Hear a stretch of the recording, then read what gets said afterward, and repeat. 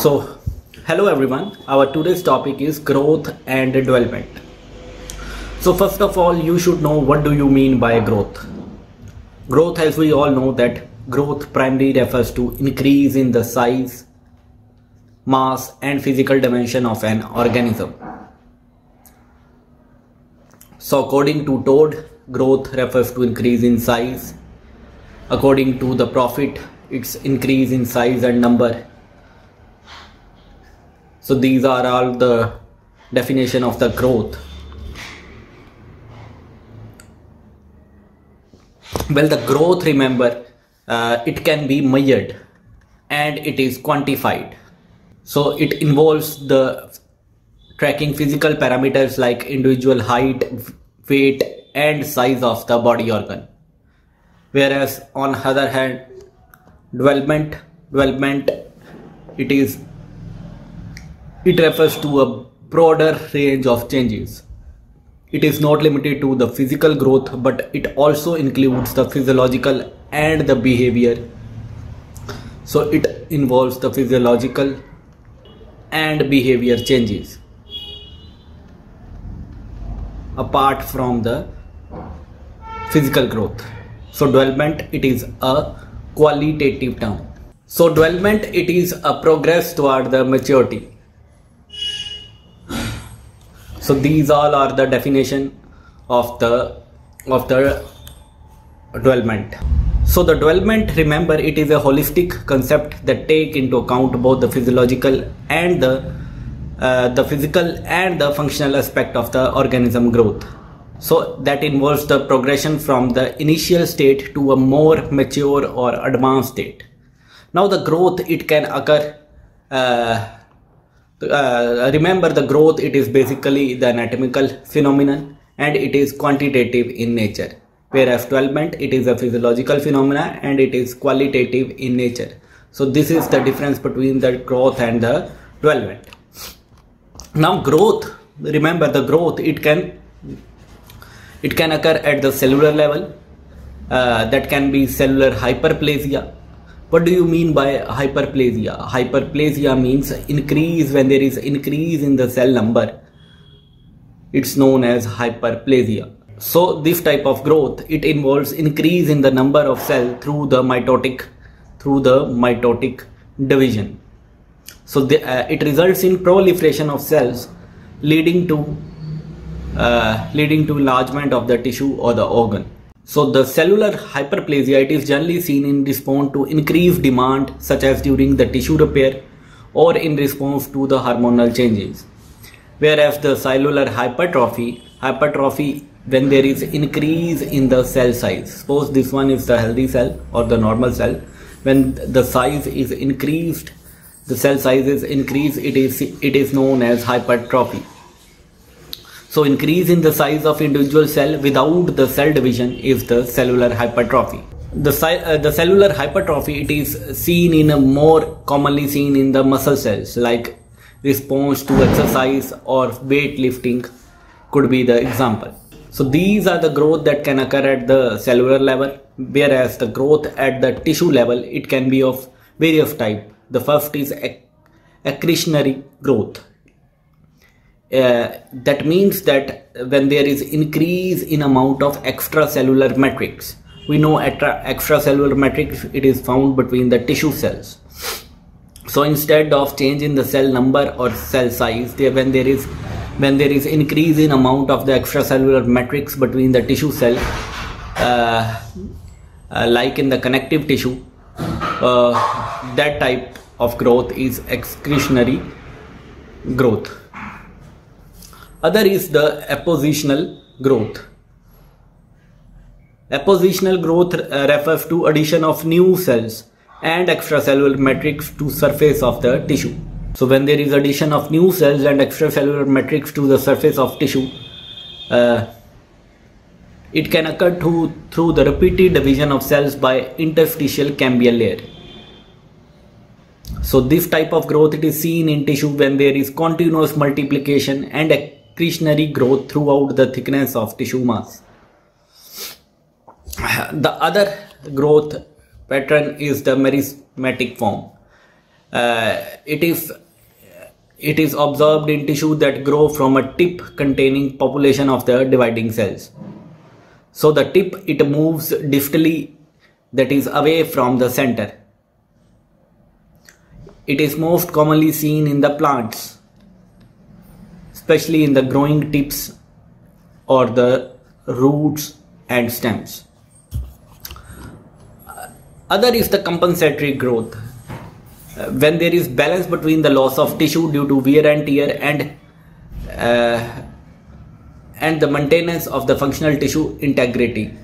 So a balance occur between the loss of the tissue and the need to maintain functional tissue integrity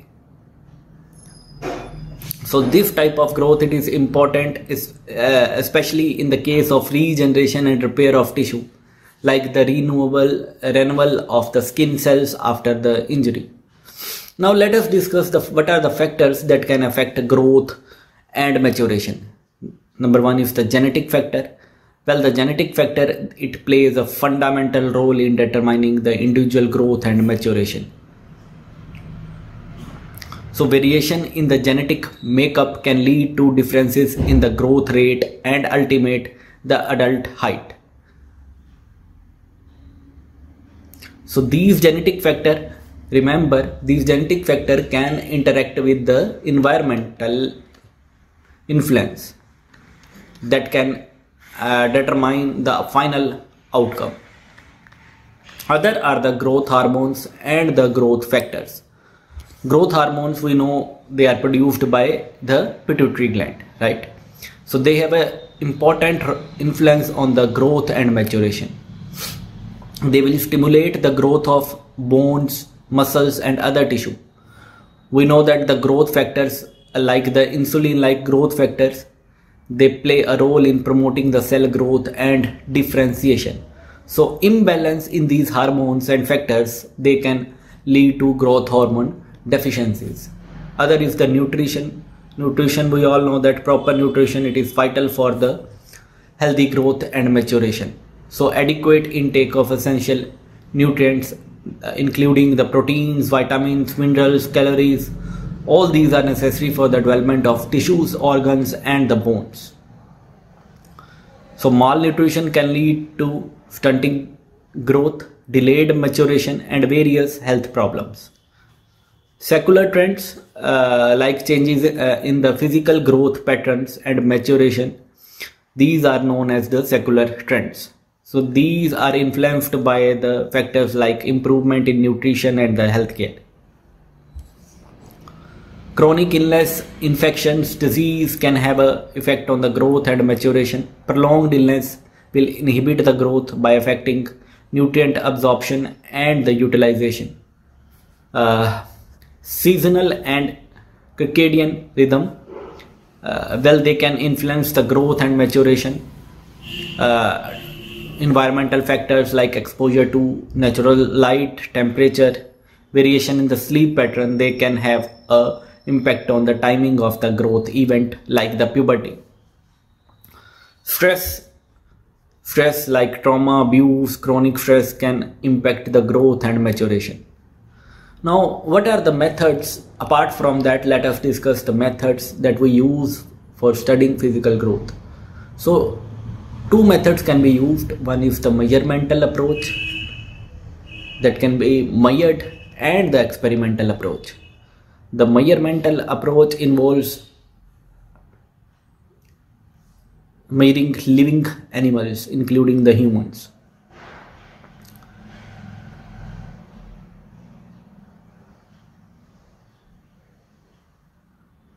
whereas the experimental approach it uses experiment to manipulate the growth in the first is the craniometry uh, in the remember in the measuremental approach uh, the various studies with the various methods we use are the craniometry anthrometry cephalometry.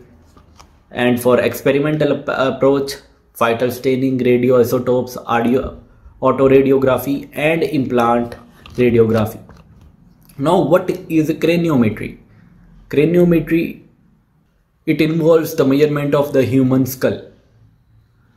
So, a craniometer So this one is the craniometer that is used to measure the dimension of the human skull and face including those of fossils.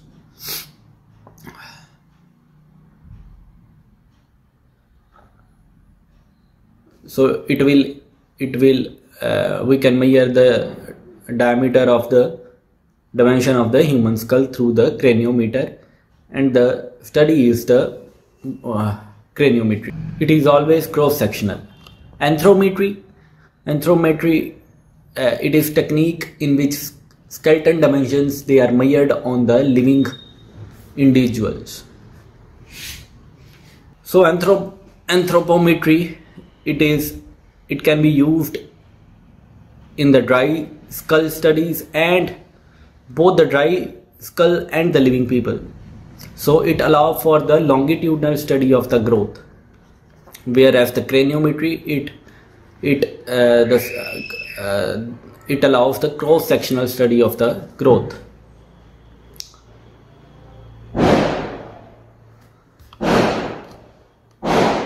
Other is the cephalometric radiography. Uh, that requires a precise head position using a cephalostat so here we use cephalostat. So remember it provides a two-dimensional representation view of the of the structures. So remember the craniometry deals with the dry skull and anthropometry means with the living individuals.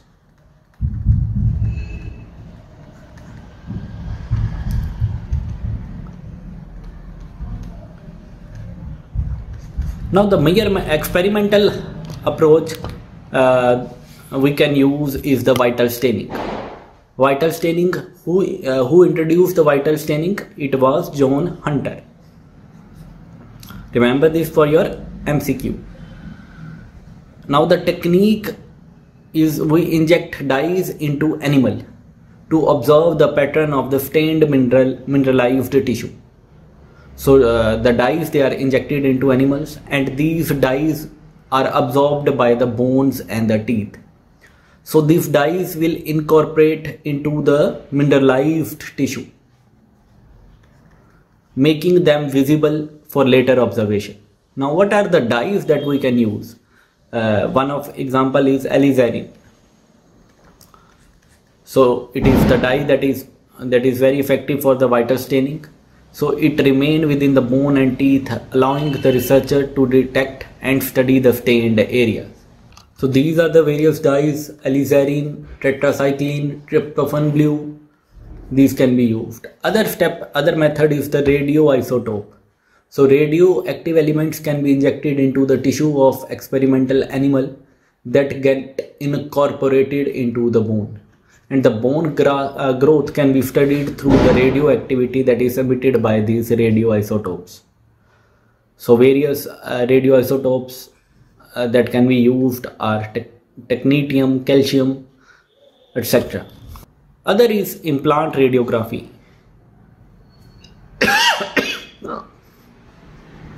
Implant radiography it is a technique that is used to study the growth particularly in the human. So in implant radiograph uh, inert metal pin typically made of material like titanium. They are surgically inserted into the various locations within the bony skeleton including the face and jaw. So these metal pins they are biocompatible meaning they are not harmful to the body. So radiograph images like the cephalograms they can be taken. So superimposing the uh, radiograph on implant that will allow for the precise observation of changes in the position of one bone in relation to the other.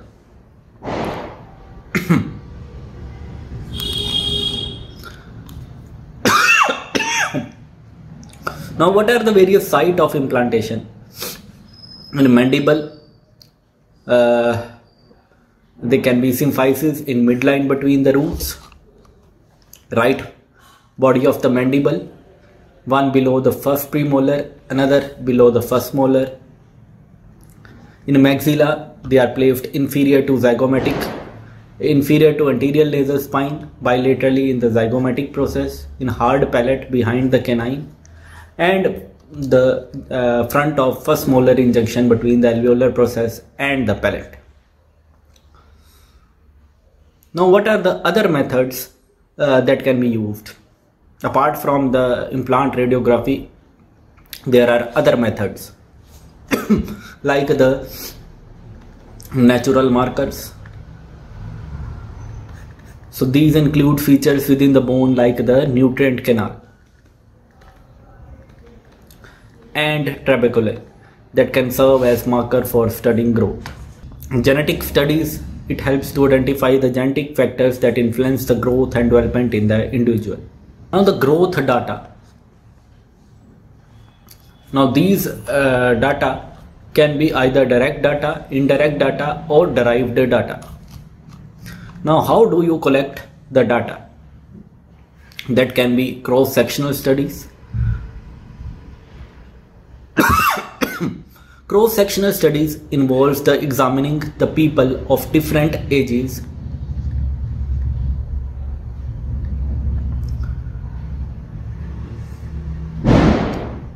at a single point in time to understand the growth at specific age. So they are efficient as they save time and allow for the large sample size.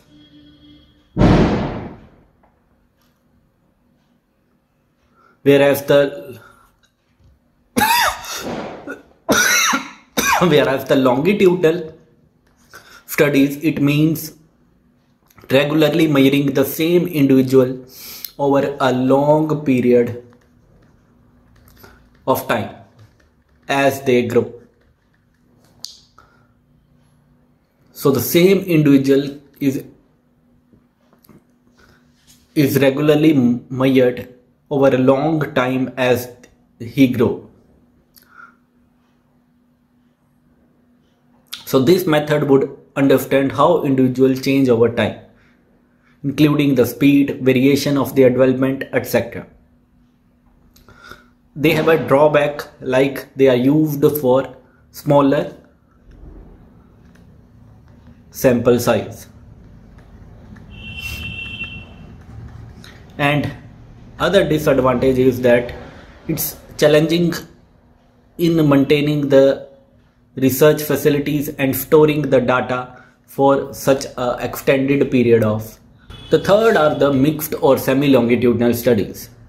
So they will combine aspect of both the cross-sectional as well as the longitudinal approach.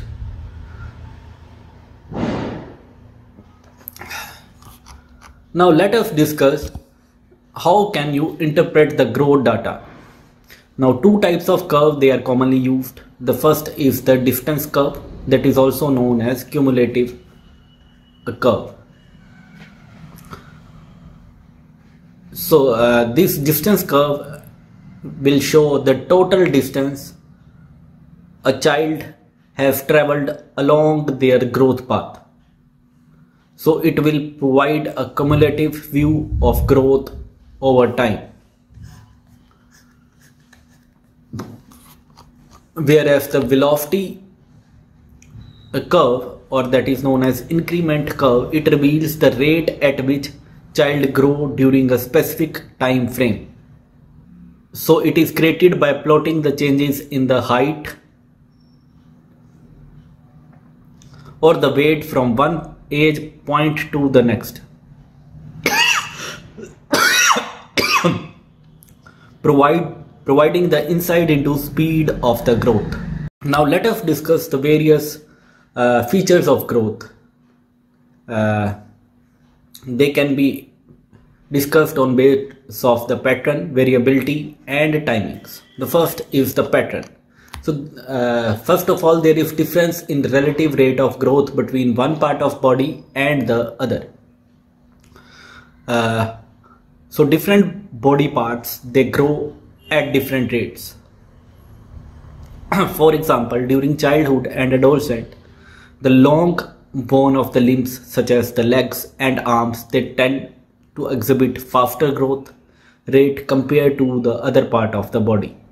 So that results in increase in height during this period. So different part, uh, different part, different body parts or the organs they grow at different rate. For example, during childhood and adolescent, the long bones of limbs they have a faster growth than the other part that results in increase in the height during this period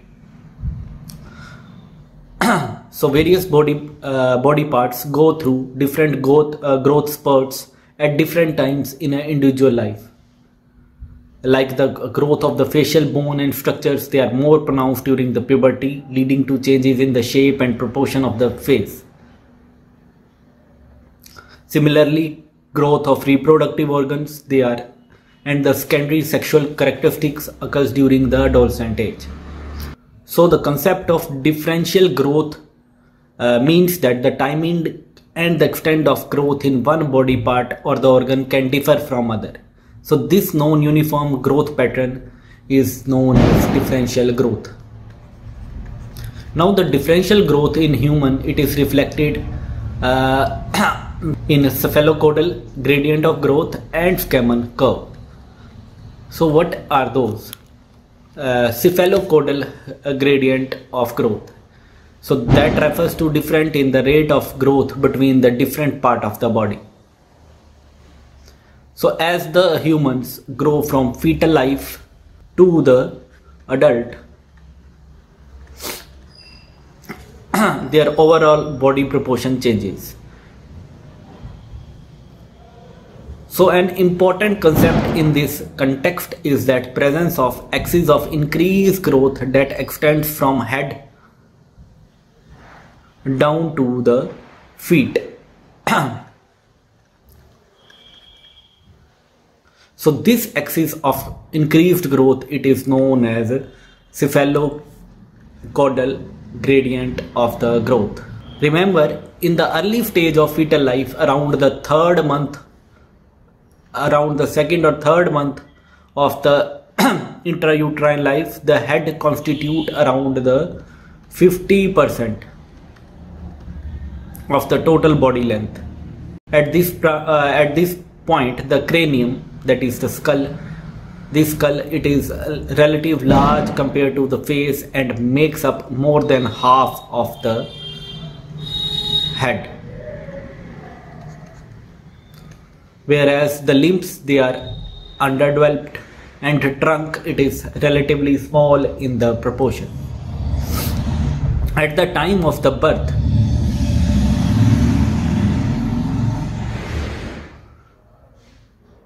the trunk and limbs they have grown faster compared to the head and face the proportion of entire body develops devoted to head uh, decreases to about 30 percent the pattern of growth, it continues with a progressive reduction in the relative size of the head to about 40% uh, to about 12% in adults.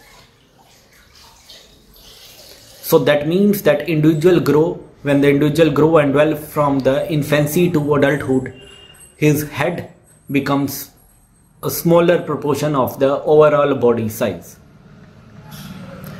So the head it will it will get smaller so this changes in the relative size of the head compared to rest of uh, the body.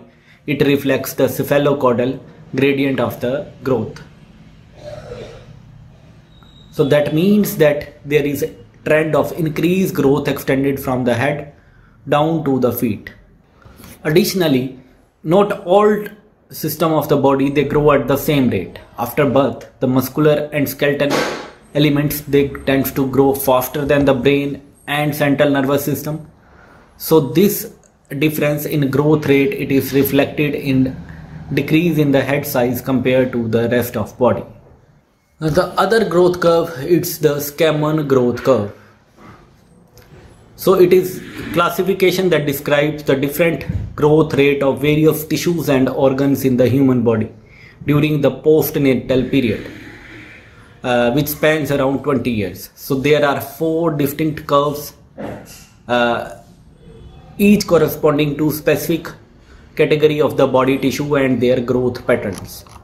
They are the uh, lymphoid curve, neural curve, general and genital curve. So these are the four curve. The first is the lymphoid curve.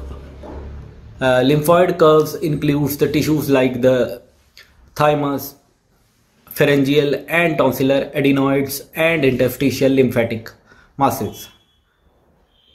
It shows that these lymphoid tissue, uh, other are the neural curves. Uh, remember the uh, lymphoid curve, these lymphoid tissue reaches 200% of their adult size between age of 10 to 15 years. Then they reduce from 200% to 100% of adult size in adulthood through process that is known as physiological involution. Second are the neural curve. They include uh, tissues like brain, spinal cord, bony part of skull, upper face and vertebra. Remember, by the age of 8 years, these neural tissue are 90% of their adult size. The third are the general curve that includes uh, the somatic tissues like the musculature, bony skeleton, respiratory and digestive organs. So these curves will show S, S type, S shape growth pattern.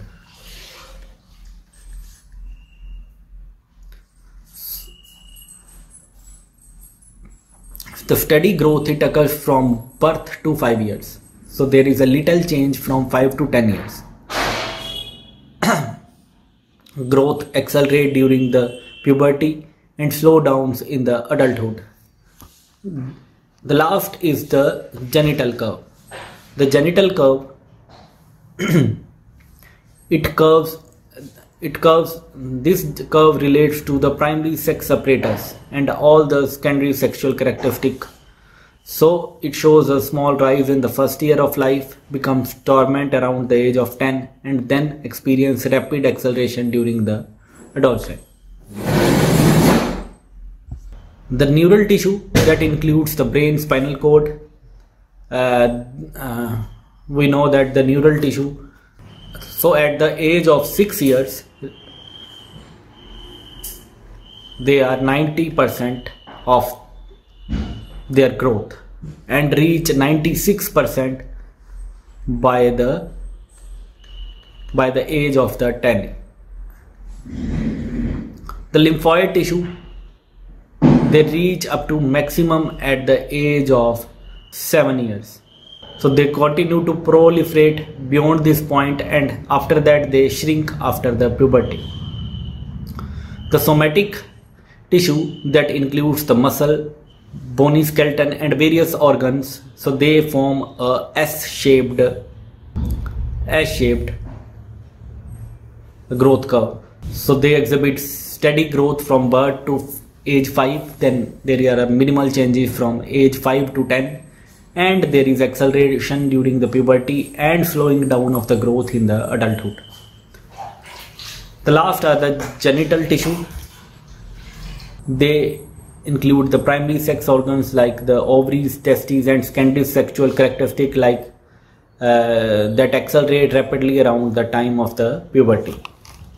Now, uh, second is the variability.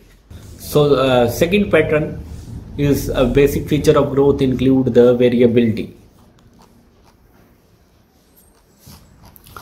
Well, no two individual exhibit same type of growth pattern at particular age. Factors contributing to the growth variability they are the hereditary, sex, nutrition, exercise, climate, etc. The girls they typically reach their maximum length earlier than the boys. The timing the timing of growth events can vary among the individual timing it is influenced by the factors like the sex with girls typically entering the puberty earlier than the boys So understanding the timing of the growth it is important when planning growth modification. Growth rhythm so let us discuss about the growth rhythm and the growth spurts.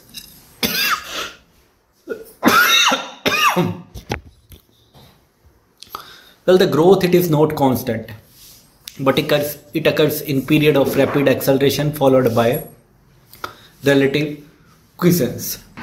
The rapid increase in growth rate it is known as the growth spurt. growth spurt may occur at different times in, boy, in the boys and the girls.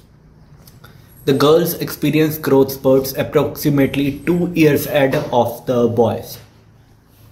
So the first growth spurt it is seen just before the birth then one year after the birth then it is seen in the mixed dentition in boys in the girls it appears earlier at age of 7 to 9 years whereas in the boys it is seen in 8 to 11 years. Other are the pubertal growth spurts. The, uh, in girls they are seen that are adolescent growth spurts. In girls they are seen at the age of 11 to 13 years and in boys it is seen in the age of 14 to 16 years. Now the growth spurts they have a significant role in the orthodontics, orthopedics and the functional appliances. They are most effective during the adolescent growth spurt. So growth spurt will determine the predictability, growth direction, patient management and total treatment time. So they will act and serve as indicator for timing orthodontic and orthopedic treatment. Now there are few terminologies with respect to the growth. Let us discuss them. Uh, first of all, you should know what is growth field. Well, the growth field, they are the areas on the outer and the inner surface of bone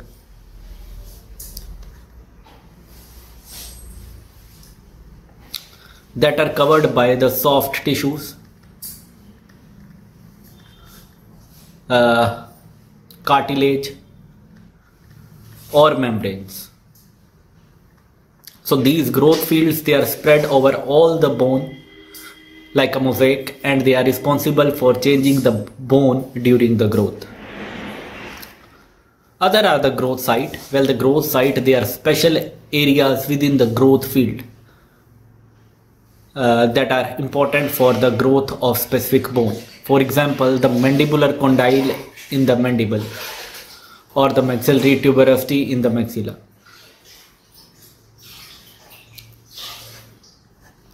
The third are the growth centers. Growth centers, they are the specific growth sites that have a significant role in contributing the overall growth of the bone like epiphyseal plate in a long bone. So like unlike the growth site, growth center, they are believed to have their own inherent growth potential.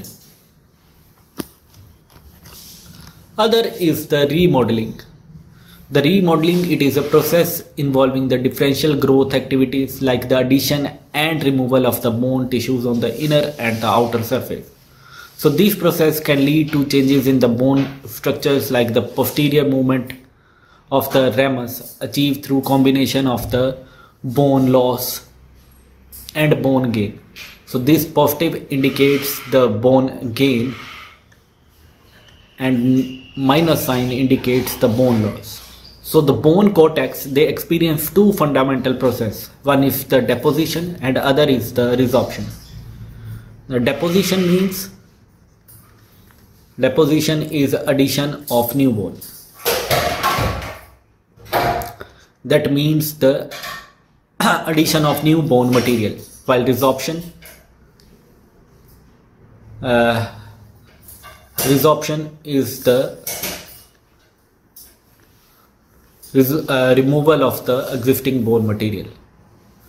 Well, the depository surface, the faces the direction of the uh, the, the depository surface will face the direction of the growth and the resorptive surface it faces away from the direction of the growth So if the rate of deposition and the rate of resorption they are roughly equal, the thickness of cortical bone it remains constant.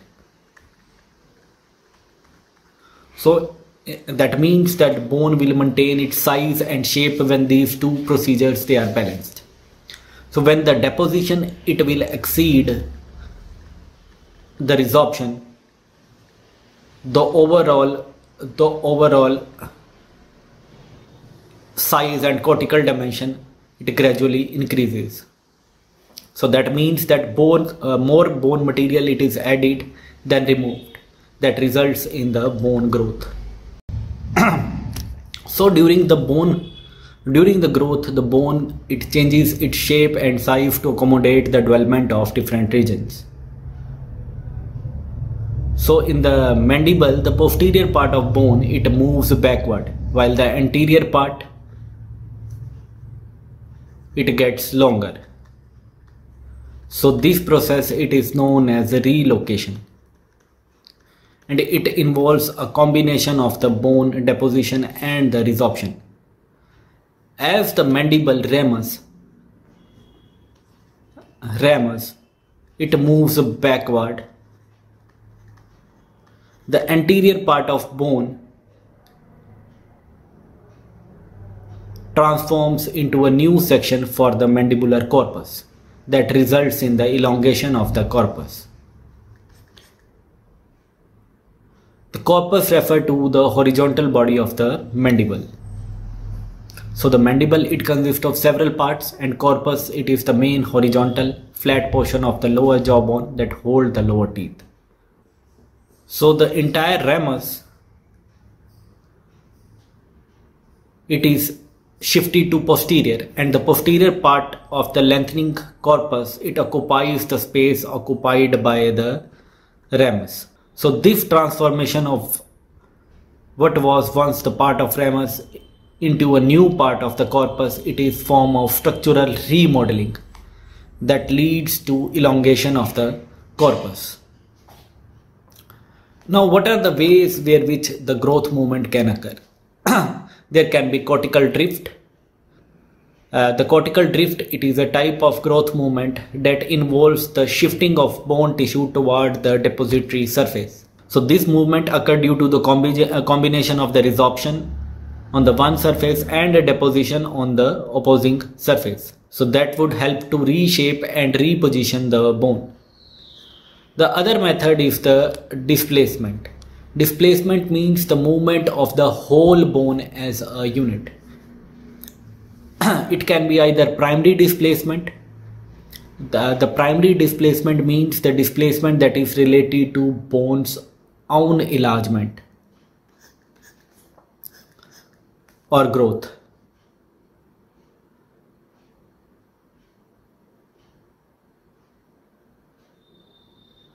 So it's like a bone self movement. Imagine a bone in upper jaw that is the maxilla that needs to grow upward and backward. So as it do the entire bones, it moves uh, entire bone it moves forward and downward creating a space for itself to grow so the amount it moves the forward and downward, it is exactly the same as the amount it grows in the opposite direction. So it is like a bone that is pushing its way into the new areas to make room for its own growth. The primary displacement of the maxilla in the forward direction occurs due to the growth of the maxillary tuberosity that grows back posteriorly. It creates a space behind it. So in response to this primary displacement, the entire maxilla, it moves forward to occupy this space. So in other words, the growth of maxillary tuberosity triggers a forward movement of the maxilla itself. So this dynamic relation between the growth and displacement helps to shape the facial structure uh, that creates and maintain the position with respect to other cranial with the respect to other craniofacial structures. The other is the secondary displacement. The secondary displacement is like it is like the like the bone responding to the external forces. It is not about the bone pushing itself around but rather being carried by some outer physical forces. So in the secondary displacement, the bone moves in response to factor other than its own growth. That could be due to the external pressure or changes in the surrounding tissue. The example of secondary uh, in the secondary displacement, a bone movement, it is not directly related to its own growth. Instead, it is influenced by the growth of other bones and their surrounding tissues. So that can create a domino effect. So where changes in one region of face affect the other areas even if they are at quite distant position. Example is when the middle cranial fossa and the temporal lobe of the cerebrum they grow forward, they can indirectly displace the entire nasomaxillary complex anteriorly and inferiorly. So this this it is result of the it of it is result of both the primary and secondary movements that are occurring simultaneously. Other is the remodeling that involves the deposition of the new bone we have already discussed the remodeling process. So suppose there are two balloons. So example two balloons they are touching each other when one balloon expands, it can either push the other balloon away or the balloons they can be pulled apart by the external forces creating space for other. So in first scenario the expansion of one balloon it pushes the other that leads to the separation. So that means the pushing force displacement is the primary movement and the second balloon adjusts to this displacement. In the second scenario, the external forces they pull the balloon apart and both balloon respond by expanding into the space being created. So here the primary movement it is the combined enlargement of the both balloons and their and their growth follows almost simultaneously the sep uh, the separation that is the displacement. Now relating this to the facial growth, consider the mandible growing towards its contact with the cranial bone. In this case, the displacement occur causing the entire mandible to move away from the cranial bone as it enlarges. The question is whether the uh, whether the primary movement is the displacement or or the remodeling enlargement. Now relate this to balloon analogy. So imagine two balloons in contact. When one balloon expand, it can either push the other balloon away or be pulled away by the external forces. So in the craniofacial context, the first scenario would be condylar growth pushing the mandible away. Displacement here is secondary. The, uh, the second scenario would be the external forces pulling the mandible apart. So the displacement here is primary and the mandible respond by growing to maintain the contact with the cranial. Now let us discuss the characteristic of the bone formation. The bone formation it can occur by the two methods. One is the intramembranous ossification and other is the endochondral ossification. The endochondral ossification it is the one of the main process by which bone in the human body develops. The other is the intramembranous ossification. The intramembranous ossification it is responsible for formation of most of the long bones in the body, including including uh, the bones in the limbs. Now let us discuss the endochondral ossification. Uh, the endochondral ossification uh, that begins with the cartilage model formation. So the process begins with the cartilage model. In early stage of fetal development, a template of future bone it is formed from the hyaline cartilage. So this cartilage model resembles the shape of future bone and it provides a scaffold for the bone formation. Around the cartilage model, there will be formation of perichondrial membrane.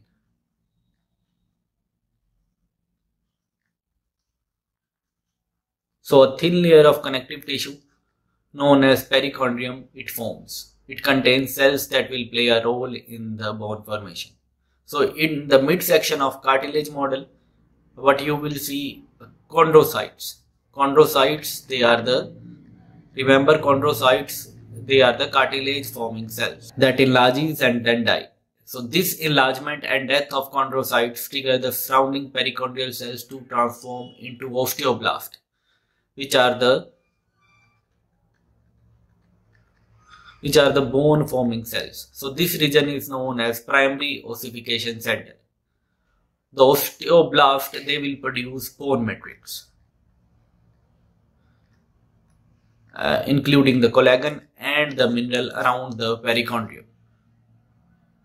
So this collar will provide structural support and strengthen the developing bone. Apart from that vascular blood vessels and the capillary penetrates the collar of bone bringing the oxygen and nutrients that are essential for the bone growth.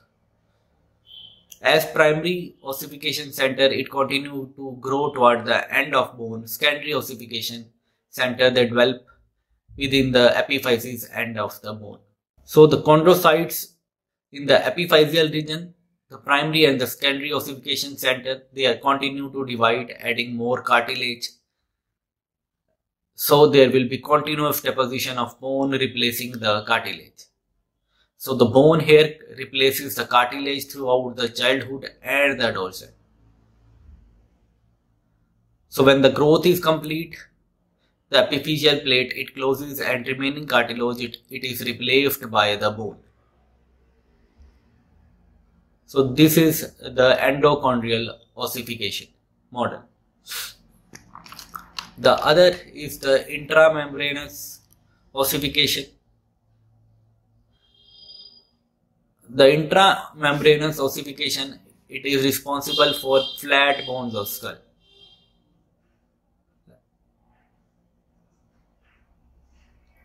So the process begins with the group of undifferentiated mesenchymal cells.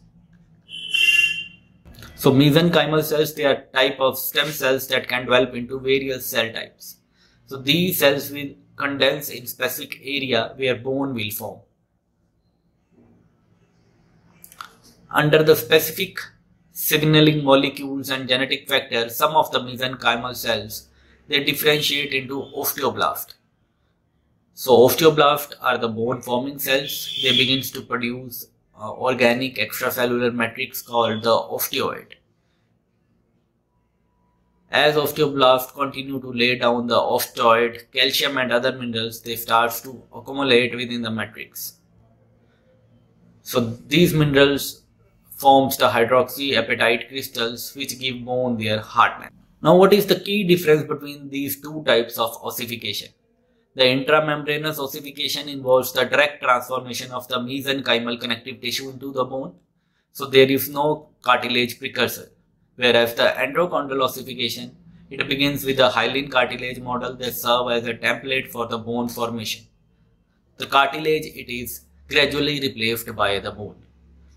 Uh, in the intramembranous ossification that primarily effect forms the flat bones of the skull such as bone of skull, facial bone, and some clavicle bones. Whereas the endochondral ossification, it is responsible for forming the majority of bone in the body, including the long bones, short bones, and irregular bones. Now coming to the coming to the various growth hypotheses. Remember uh, the year and the hypotheses that were given. In 1930, the remodeling theory was given by Brash. The suture theory was given by Sicher. The nasal septum theory was given by Scott. Functional matrix theory was given by Moss. Servo system theory was given by Petrovic. And uh, remember all these theories and the year, especially for your entrance exam point of view. Who proposed the sutural dominance theory? It was by Sicher. Who gave the nasal septum theory? It was given by Scott. The functional matrix theory was given by Moss and servo system was given by Petrovic. So remember all these theories. The first is the genetic theory. Genetic theory, it was given by Brodie. And the sutural theory was given by the Sicher. The genetic theory, the Brodie theory postulate that the skull growth was primarily controlled by the genetic factors. So the genes determine the overall growth control. According to Brodie, the genetic factors were considered the primary determinants of the craniofacial growth. The sutural theory was given by Sicher. He believes that the craniofacial growth it occurs at the sutures. So, according to Sicher, each suture was believed to contain genetic information that determine the amount of growth occurring at the specific sutures. The sutures respond to the mild tension forces and surface deposition of the bone that allow for bone that allow the bones of face and skull to adapt. So when the forces are exerted on the sutures, such as those generated during the chewing or other functional activities, sutures can deposit new bone on the surface facing the direction of applied forces. Other theory was the cartilaginous theory. It was given by the Scott. He believed that the intrinsic growth factors, intrinsic growth controlling factors, they are present in the cartilage and the periosteum that play important role in the craniofacial growth. According to this theory, the nasal septum, it is the primary mechanism responsible for growth of the nasomaxillary complex that includes the growth of the upper jaw and associated structures.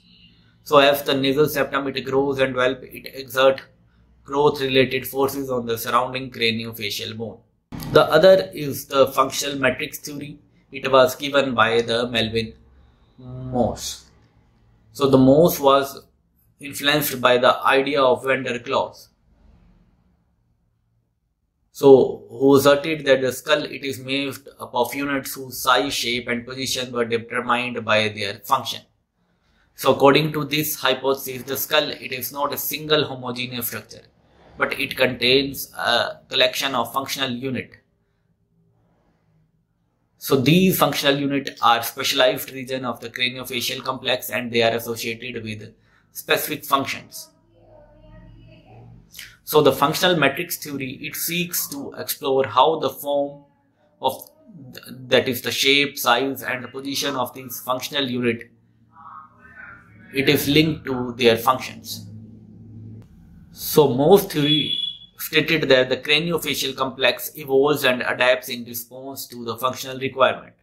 Like the development of the specific facial structures, it is influenced by functions such as mastication, speech, and the respiration the functional unit, the functional cranial component, uh, they can be either skeleton unit or the functional matrix. The skeleton unit consists of microskeleton and macroskeleton units. The microskeleton units are alveolar, gonial, condylar, angular and base unit of the mandible whereas the macroskeleton units they are the mandible and the maxilla. The functional matrix it is composed of uh, capsular matrix or the periosteal matrix. Uh, the periosteal matrix consists of muscles, tendons, nerves, blood vessels, and glands. Uh, they act on the macroskeleton unit and causes change in the shape and size by the apposition and resorption. Whereas the capsular matrix, the example are the neurocranial capsule or orofacial capsule they will act indirectly on the macroskeleton units, causing expansion of capsule and causes passive growth. So the Melvin Moss, he introduced the functional matrix hypothesis, uh, stating that the craniofacial bones, uh, he uh, just grow. He challenged the idea that the craniofacial bones just grow. Instead, he proposed that the head it is complex structure composed of different functional components, each serving specific function. Uh, so these functions are carried out by soft tissue, which are supported and protected by the related bones. He also introduced the concept of transformation and translation. Some growth occurred directly due to the functional matrix like the muscles, while the other growth, growth it is secondary and compensatory. Now, what are the clinical application of the functional matrix theory? The orthodontic appliances like braces can alter the periosteal matrix, which respond, uh, which consist of the teeth. So, by applying forces to reposition teeth, changes occur in the microskeleton unit, including the including the alveolar bone. Alteration of the capsular matrix, dentofacial orthopedics involves the treatment that can change the capsular matrix that relates to the jaw. So this treatment leads to changes in the macroskeleton unit, impacting the position and growth of the jaw. The rapid palatal expansion technique aims to expand the upper jaw by altering the capsular matrix. It is used to correct the tissues like the narrow palate. Cleft palate patient offers require reposition of the maxillary segment to address the facial deformity. So this reposition would affect the capsular matrix. The anterior bite plane can be used to correct the deep bite by influencing the periosteal matrix and guiding the eruption and position of the teeth. The activator stimulates the condyle growth. The activator is an orthodontic appliance that stimulates the growth in the condyle. Uh, it influences both the periosteal and the capsular matrix. The Frankel functional regulator use lip, pad, lip pads and buccal shield has impact on both the periosteal and the capsular matrix. It can affect the development of jaws and the oral structure. Inter-arch elastics, headgear, face masks, chin cups, they have a direct effect on the functional matrix by altering the muscular behavior and spaces within the oral cavity. The other theory is the servo system. It was given by Petrovic.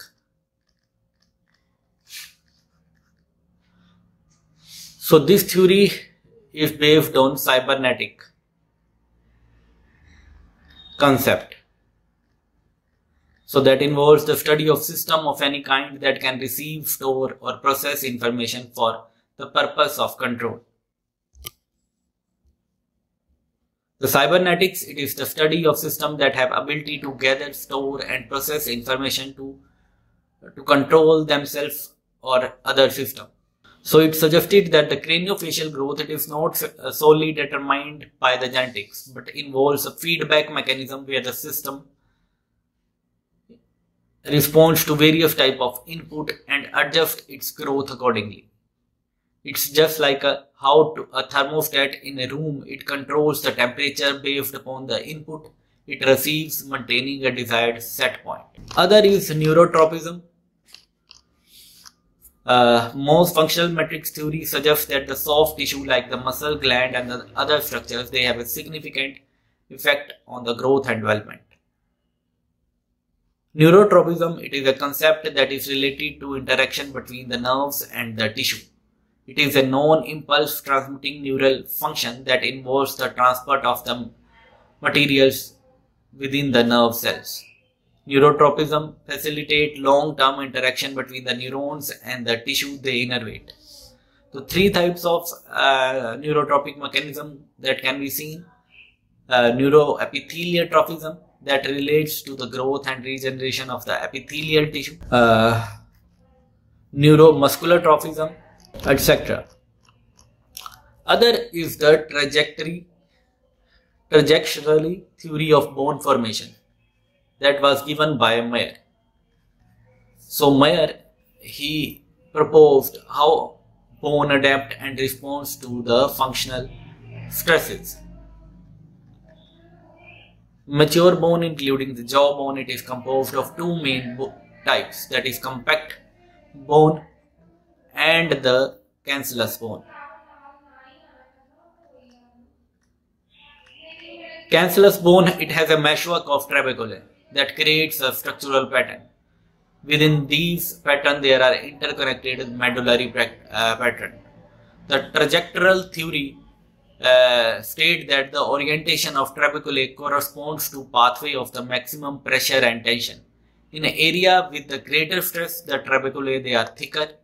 So these thicker trabeculae are referred as trajectories that indicates the maximum stress within the bone. So most trajectories in the bone, they cross at the right angle. Uh, so the natural line of stress in the skull, they were studied by Benninghoff. He pursed small holes in the fresh skulls and observed that these holes they form a linear pattern when the skull were dried. So these these linear patterns were uh, stated as Benninghoff lines or trajectories that indicates the direction of the functional stresses in the bone. The maxilla, we know it's less compact and more porous than the mandible.